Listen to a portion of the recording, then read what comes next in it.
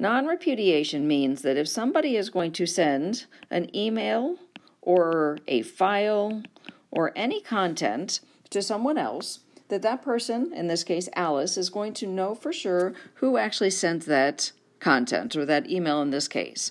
So Bob is who she thinks she's talking to on the other side. The question is it really? With non repudiation and cryptography, what we're going to look at is how do we put any protection mechanisms around the file so that we know that who sent that file is exactly who they say they are. What we're going to add is going to be a digital signature.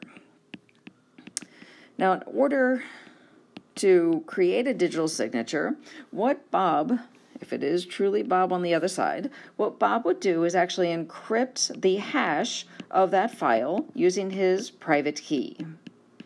Alice would then verify that, that signature using Bob's public key.